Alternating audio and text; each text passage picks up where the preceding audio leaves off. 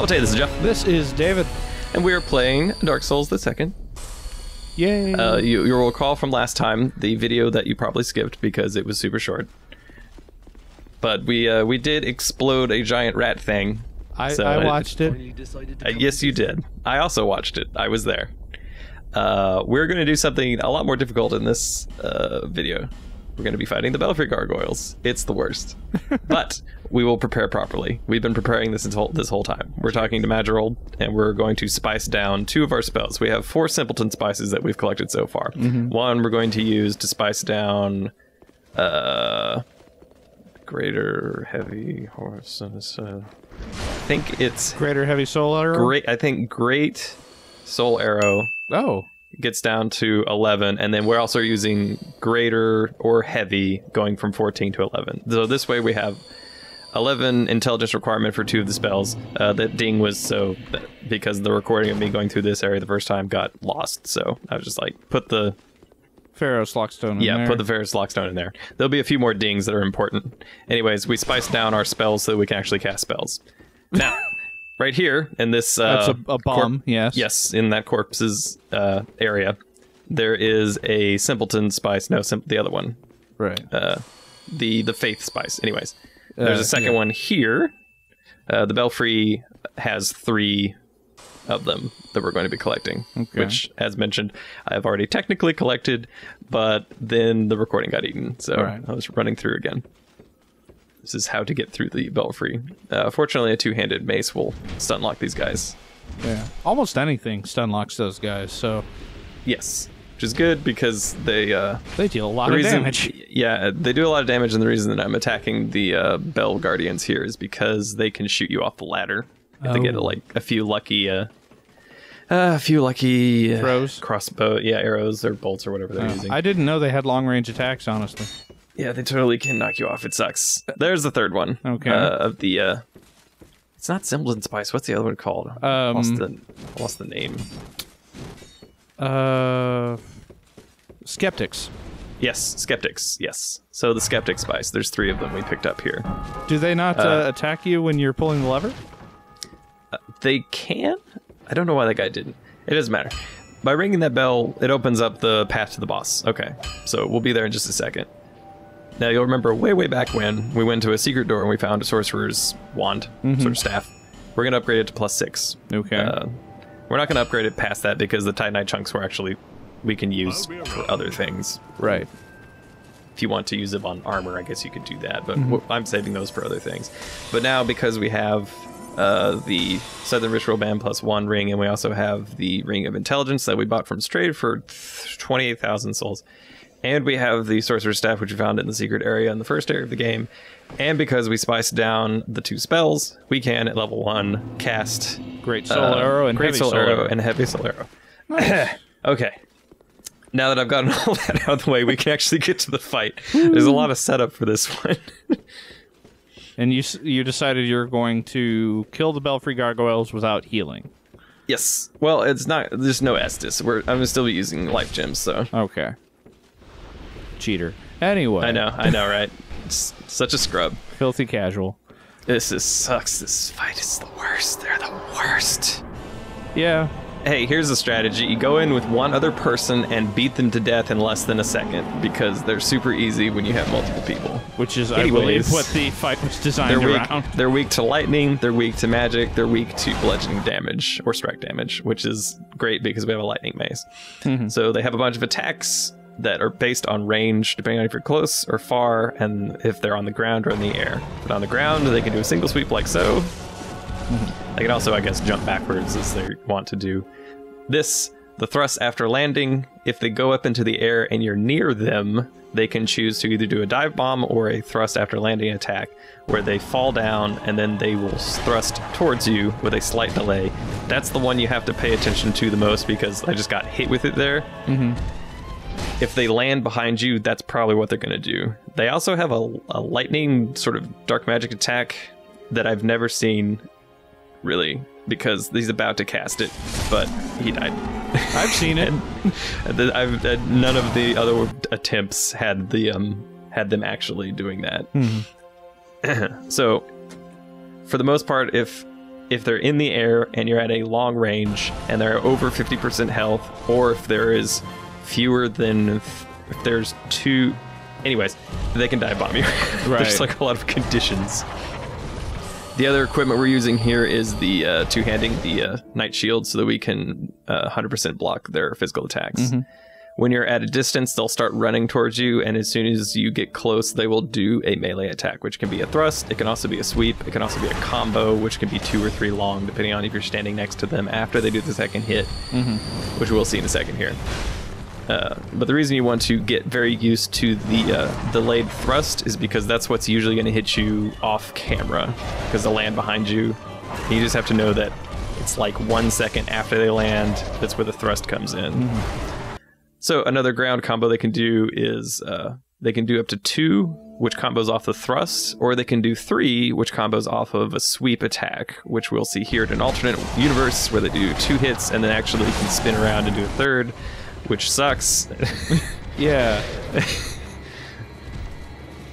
So the general strategy here is going to be uh, beating the first one down with the mace, two-handing the mace. If you get lucky uh, and the first one kind of plays nice, you can kill the first gargoyle like before the second one even gets near you.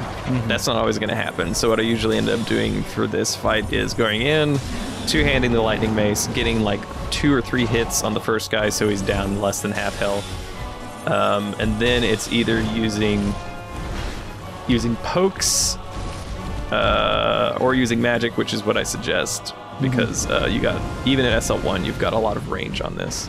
Ah, So now that these now that there's a lot of them on the screen and one of them is less than half health, they have access to their fire attacks, of which there are three. This is the first one, which they use in the air. So if they're in the air, they're less than 50% health, or there's multiple, let's say, more than two of them on the screen at the same time. There's a good chance they're using fire. This is actually a good thing as long as you only keep one of them at less than half health at a time because it kind of locks them down in place, makes them very easy to dodge. right. Uh, if you have more than, if you have three or more that are at less than half health, you can have the entire screen filled with fire. You don't want that. Nope. That's bad. That's hard to dodge. Hey, you got somebody coming awake right next to you. So there, there can be up to five of them on the screen. Oh crap! Really? Uh huh. If you're too slow, because they will just keep joining the fight after a certain amount of time has passed. Uh, the ground fire actually has two varieties. That's the cone, which is close range, but you know covers an area. And we'll see later. Uh, one of the deaths was because of the fire sort of line that shoots out a lot further, but of course is more narrow, so you can dodge it easier. Right. Generally speaking, we're going to keep them. Well, I, I'm doing counterclockwise, but you know, you could do whatever you want Right. uh, going around the arena. Keep in mind the layout of the arena in your head. It's a rectangle, but there are the plinths that they stand on, uh, which you can either get caught on, which is bad, or you might be able to hide behind. You know, in a very very rare sis- I situation never when they're managed to do it. when they're like running directly at you, it might cause them to uh, stop in such a way that their attack will whiff. But generally speaking, you actually want to stay close to them because you want them to be clumped up together and you want them to do short range attacks. Uh, so, like a lot of, I ran out of that particular spell. That's okay I, I noticed. like a lot of of bosses in the game you want to you want to get close even though you naturally you'd feel like that would be a bad place because that's also where you're going to get hit the most but they're you want to control when they're doing attacks because they their attacks are they all have a long recovery and they're not as aggressive when there's multiple of them but what you want if you can get more than one of them to do an attack then you can get free hits because it means that the uh, the recovery time for the different attacks will be that was a That was the delayed dodge. thrust. Yes, indeed. So if that's what happens if you yeah if you do a dodge roll at the very close to dying, uh, everything's fine. Everything's fine. Everything's good. No problems. So if you roll immediately after you see them land, that's what happens. They just stab you. Uh, this is actually working out well because this one is such low health that he's doing nothing but fire attacks. Uh, which means that. Oh. It's a little, uh, little nervous there. Yeah. You try and so right here is an example. You didn't want to heal, don't want to heal because they're both running at you. I needed to get in close so they both did an attack. Mm-hmm. So now that they've both done an attack, I baited out the fire and I baited out the aerial attack. I'm going to the corner so I can get one life gem off. So that guy is going to, yeah, do another diving attack. Fire's still going on. Now that one's finally dead and it's just down to one. And one gargoyle is actually extremely easy because their attacks are very slow. Right. They're Uh, designed around there being like three to five of them. Yes, they're to being yes anywhere from two to five of them at the same time. It's uh,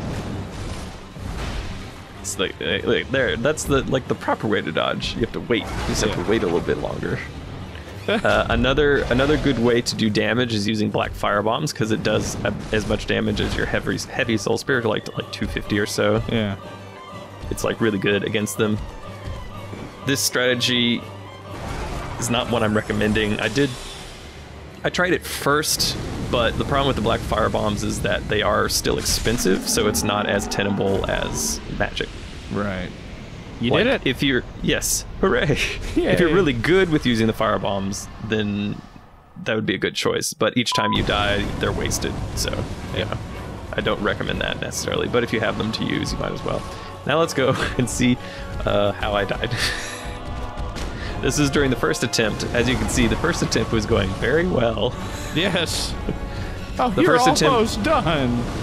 Oh. Uh, and then the line of fire got me. I was very um, upset at that conclusion. Now I'm I'm look at all these pro dodges. Look just look at it, but no. no. Just like to know that there was a number of pro dodges. We saw that one earlier. Yeah. this is just a reminder. Now that did not kill me. That did. That one did. So the the delayed thrust is pretty much what did me in every single time. That in the line of Um, fire. Yes. Uh, those gargoyles are the worst. They suck so bad. Don't ever fight them alone at SL1. Yeah, that seems like a very unfun thing you did. Uh, but now it's over, so I don't have to do it again. Hooray! Ever, ever. Unless you discover a better strategy and then you have to do it all over again. You can also use uh, Flame Swath, which of course you only have two of if you have your pyro pyro hand ready. Mm-hmm. Uh, if you get them all grouped up and use Flame Swath, they will do a lot of damage. Uh, but if you miss, then you're out. so there's that. Yeah. Um, this is why I recommend going with the magic strategy because you can you can cast from a large distance away. Right. Uh, you still only have access to your blue shield, so you'll take chip damage from the attacks, but chip damage is better than full damage. Yeah. If you do want to do the black firebomb strategy, I would suggest two handing the kite shield or the Knight Shield. So you get the full damage reduction when you're blocking, which is great. It means they basically can't hit you unless you're out of stamina, and there's like four of them trying to stab you at the same time, which can happen. Mhm. Uh, but if you are going for the black firebomb strategy, when you're targeting them and you throw, unlock, and then move your camera up about uh, like 45 degrees or more into the sky, so that your character is throwing at the right vector, but then is throwing it further. Because the default sort of throwing throws it at their feet. And when you're on the steepled church roof, often what will happen is it'll hit in front of them. They'll get hit by the edge of the uh, blast damage, uh, splash damage, I mean, Mm-hmm. and only do like 180 damage and only hit one of them. But if right after you hit the button to throw the firebomb, unlock, look up at the same time, it's sort of a trick. It's like a tricky thing to get used to doing. But your dude will throw the firebomb a lot further. Has a much higher chance of doing a direct hit, which does direct hit damage and then also splash damage, and also has a better chance of hitting the rest of them because they're clumped up. The end. I'm gonna stop talking now. If you want to talk about something else like money. okay. Uh, if you liked watching Jeff suffer and glean all the knowledge from his pain and torment, that you don't have to go through the experimentation. Not looking for for the DLC bosses. Some of them suck. but they're all fun to fight as two people Mm-hmm. and 3 Mhm. which you're not doing, and you're doing it at SL1. So to to continue seeing, I mean, we'll continue doing them regardless, but uh, if you like what you're seeing, we have a Patreon page that I'm sure Jeff has put the link up by. Well, he probably put the link up like six minutes ago when the video ended. Yeah, Uh, well, is- yeah, yeah, yes, yes, that did happen. but uh, the uh, just just go and and uh, it's where you give us money every month. If you give us a buck, we will love you. If you give us a hundred dollars, we will love you. Uh, it will, and you'll get other things. Um, but it's it's an ongoing month month thing, and we are like thirty four dollars away from me doing another LP, and then we are two hundred and thirty no three hundred and two hundred thirty four. Don't For- use specific numbers. It makes because someone could be watching this video at any time in the future. All right. so As of January twenty seventh, two thousand fifteen. at exactly, I guess you're. I'm just saying, we are- eleven twenty one. Uh, we are close. Central Standard Time. we are close to me doing another LP, Uh-huh. uh, and we are also not insurmountably far away from Jeff being able to do the LP he wants to do, which Yes. is all of the From Software RPGs, Yes. which I'm looking or forward most of to. them. Uh, I actually, for some, it's weird because you'd think that that would mean Dark Souls as well hmm because we spend so much time doing Dark Souls. But I'm actually not even really decided whether I would do that or not because, like, I feel like we. I think that we've sort of spent a lot of time doing it. Also, I've spent so many hours playing Dark Souls. It's weird to like go through. It's it's hard to do like a normal playthrough, I guess Right. Well, cause because we, I'm always just like, all right, we know exactly what build we want, we know exactly where we want to go, and we're just kind of doing it, you know. yeah, But but that's the future. There's a lot of the King's Field games and stuff that true. I'm interested in. I mean, looking at between the two of us, we've got what fourteen hundred hours in Dark Souls One. yeah, it's something like that. It's, it's ridiculous. It's and stupid, Probably the, yes. the same in Dark Souls 2, and if not, then it's quickly catching up. so- Yep. Yep. I think I've only put like two hundred into Dark Souls too. So this time. there's time. That's It's time to increase that. Yeah. Uh, maybe we would be. Also, also I'd I'd wanted because obviously Demon Souls counts as uh, part of the Soul Mhm. series and also part of the From Software RPGs, and that's another weird one because it's a great game, but also like like the entire reason that I even played Dark Souls is because of the LP of Demon Souls was so good. Yeah. So it would be kind of weird to like do another one. It seems like well trod territory. especially since there's already been a second LP of it, and the first LP of it can like covered everything, Yeah. but it wasn't in HD. That's okay. That's true. There's, I guess there's always that. Well, but anyways, that's that's far away. Anyways, if I if we first of all if we get enough money to do it, then there's we go through King's Field, Kingsfield two, King's Field three, King's Field four, Ancient City, Shadow Tower, Shadow Tower Abyss. If I can figure out how to get that to work, uh, Eternal Ring possibly, even though it's a little bit more boring than the other ones. And then there's a few other ones that I'm forgetting. Uh, some of the other there's a few stranger from software RPGs, even of those. They're even more obscure but Hmm. it's like kingdom of something like kingdom of fire. That's not it. I'll... and then Is there's like that one that's called like something like that. And then there's one that's like o- Otogi or something like that. Are you looking it up look right it now? yeah I'll look it up. Of course i am. All right, so yeah, these are things we are interested in doing, but they are Patreon rewards. Uh, and again, as of January twenty seventh, two thousand fifteen, we are uh, we're close. We are at two hundred and sixty six dollars out of three hundred dollars before I will do another LP, which, uh, having discussed it and talked it over, will probably be Spiritual Warfare by. Damn it, wisdom tree. Tree. couldn't get through it could you no, I couldn't. I almost. so what i was thinking of was You um, laughed. Damn it. I know it was uh, Otogi was one of them. Um, there's also Enchanted Arms. There's also Evergrace. They did Enchanted Arms? There's also Ku- well, Kuon's survival horror. So is Echo Night. That's also survival horror technically. It's weird. Uh, we might as well just do them all. Whatever. nah, let's let's not commit to that because some of those I don't want to play because they're boring. Oh, fair enough. Yeah, like, but we'll we'll say for sure, definitely Shadow Tower and King's Field series, which are amazing. No, okay. So, like, no no caveat. Those are those are the predecessors to uh, Dark Souls, uh, dark fantasy uh, setting and all that. Where everything's sad. Yes, where everything is sad and and story is not really told to you, and endings are usually after. Well, that's not. That's not entirely true. There's some good stuff to be uh, said about the ending of uh, King's Field Two. Uh, well, anyways, I'm gonna stop talking now because I'm tired of talking. All right. the gargoyles died a long time ago. Next time we're gonna go fight. Uh, what did we fight next? I guess we'll Um, find. I guess we'll find out together. You told me. uh, Ah, Freja. That's right. Yes, Indeed, the Duke's own. yes. The Uh, dear that one Duke's is- Frasier. That one's much less stressful, Yes, that one's easy. despite being a like a horrible spider monster. Mhm. Super easy because it's not five. Horrible spider monsters. Yeah, it's not five. Well, I mean, there is more than five spider monsters at the same time because there's ads, but But the ads are five, tiny. Yeah, five gargoyles at once on a tiny roof. Mhm.